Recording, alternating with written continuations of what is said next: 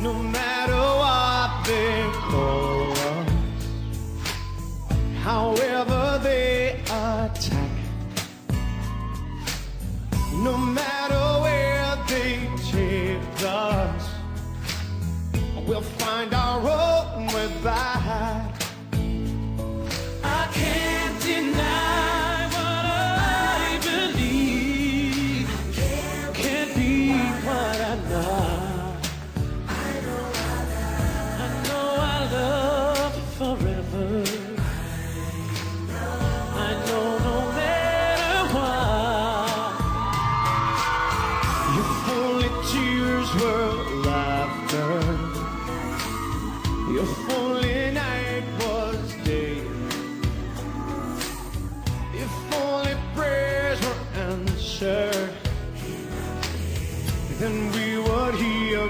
God say,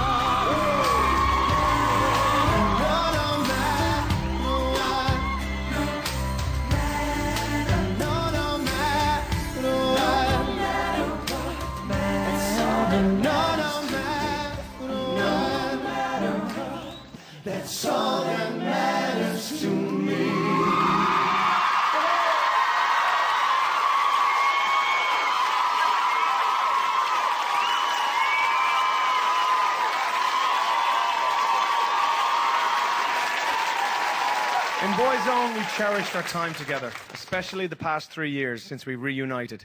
We knew we had something incredible, but we never realized how special it was until that day in October 2009. The day it was the 9th of October, the day of my birthday. It was a Saturday night. We just finished X Factor. I was on a real high. I was hyper. He was saying to me, um, oh, you know, I just got you in time before your birthday. And I said, well, you didn't really because you're in Mallorca and it's half 12. You know, so he said, oh, I'll be buying you handbags forever. I was in Los Angeles, lying in bed watching BBC America, and it came on, you know, breaking news. Stephen Gately, who has died suddenly at the age of just 33. Couldn't believe the shock.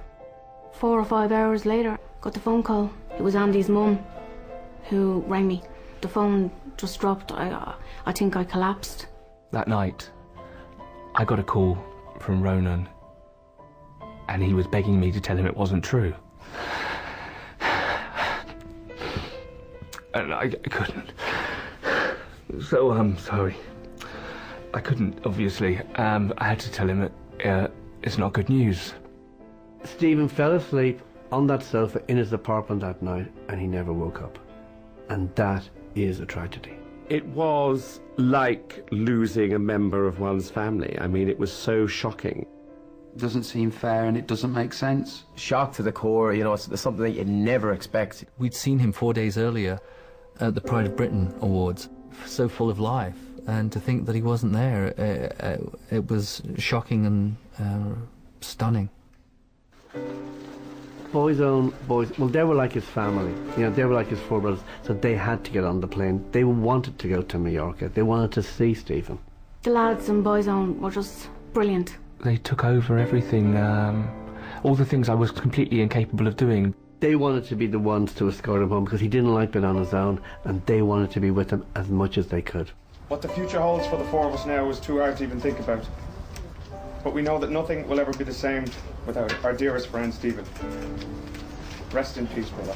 They were so dignified. They were so dignified what they did there. They really were. To watch the aftermath um, of how Boyzone dealt with it, I thought it was incredible.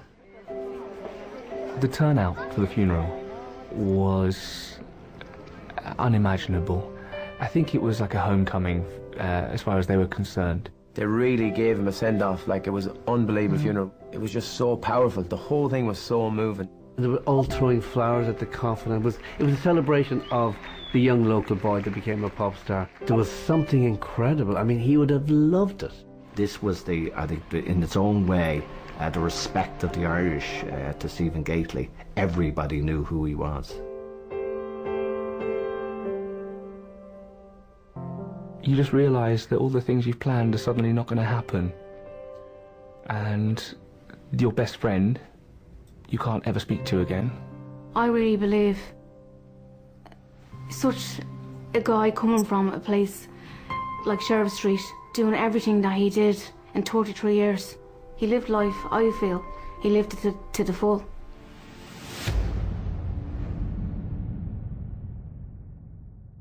That was the darkest time for us, but our good memories continue to get us through. We just started recording our fourth album when Steo passed away. I'm delighted we finished two songs with Steo's voice on, and we're proud to sing one of them tonight. To help us out, we've invited the man who wrote the song. Will you please welcome the brilliantly talented Mika? We